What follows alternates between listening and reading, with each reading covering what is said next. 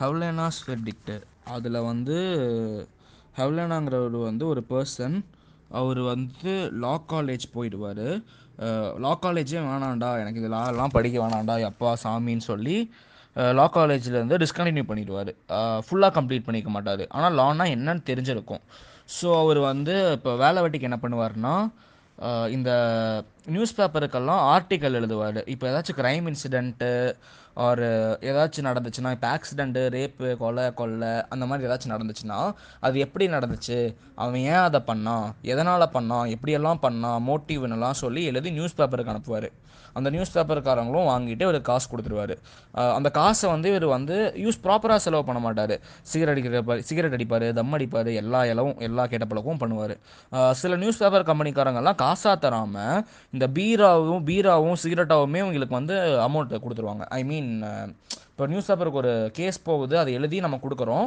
அது அவங்க காசு கொடுக்காம சிகரெட்டாகவும் பீடியாவும் கொடுத்துருவாங்க. சில டைம் சில நியூஸ் பேப்பர்ஸ் எல்லாம். ஸோ என்றைக்குமே க்ரைம் சீன்ஸு க்ரைம் இன்சிடென்ட் எல்லாம் நடக்காதுல்ல.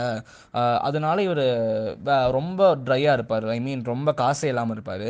ஸோ அந்த டைமில் என்ன பண்ணுவார்னா இவரே இமேஜின் பண்ணி ஒரு கேஸ் எழுதலாம். அதை எழுதி நியூஸ் பேப்பரில் போடலாம். அது அவனுங்க எப்படி அவனுங்கன்னா பார்க்கவா போகிறானுங்க போட்டுருவானுங்க.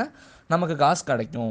அந்த ஒரு மென்டாலிட்டியில் என்ன பண்ணுவார்? இவர் ஒரு கேஸை இமேஜின் பண்ணுவார். இது இமேஜினேட்டிவ் கேஸ்னால் அது என்ன கேஸ்னால் ஒரு வந்து ஒரு யங் மேன் ஒரு இருபது இருபத்தஞ்சு வயசுன்னு வச்சுக்கோங்களேன் அவன் வந்து ஒரு வீட்டில் இருக்கான்.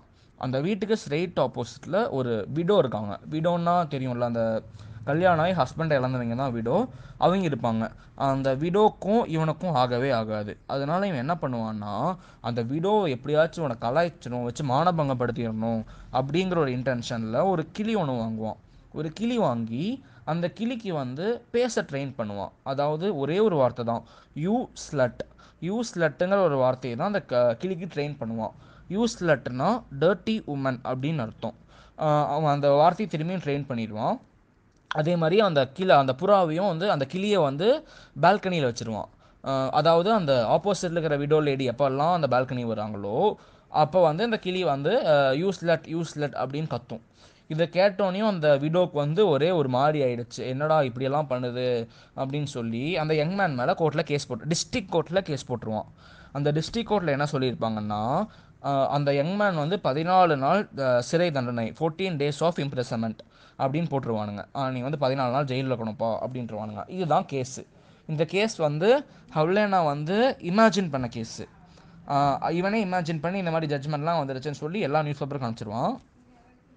ஆறு நியூஸ் பேப்பர் வந்து இதை வந்து பப்ளிஷ் பண்ணிடுவானுங்க. அந்த ஆறு நியூஸ் பேப்பர்லேயும் வந்து என்ன சொல்லியிருப்பாங்க? ஒவ்வொரு நியூஸ் பேப்பரில் ஒவ்வொரு தலைப்பு அந்த ஒவ்வொரு தலைப்பு போட்டு அதே கேஸை வந்து ஆறு நியூஸ் பேப்பர்லேயும் போட்டுருவானுங்க அந்த நியூஸை வந்து இந்த மேல் அதிகாரிகள்லாம் இருக்காங்கல்ல இப்போ டிஸ்ட்ரிக்ட் கோர்ட்டில் அந்த கேஸ் நடந்திருக்கு. இந்த சுப்ரீம் கோர்ட்டு ஹை கோர்ட்டு அந்த மாதிரி இருக்குல்ல அதெல்லாம் ஃபாரினில் வந்து மினிஸ்ட்ரி ஆஃப் ஜஸ்டிஸ் அப்படின்னு சொல்லுவாங்க. அந்த மினிஸ்ட்ரி ஆஃப் ஜஸ்டிஸ் வந்து அந்த நியூஸ் பேப்பர் வாங்கி படிச்சிருவாங்க. அவங்களுக்கு மினிஸ்ட்ரி ஆஃப் ஜஸ்டிஸ்க்கு வந்து ஒரே இது.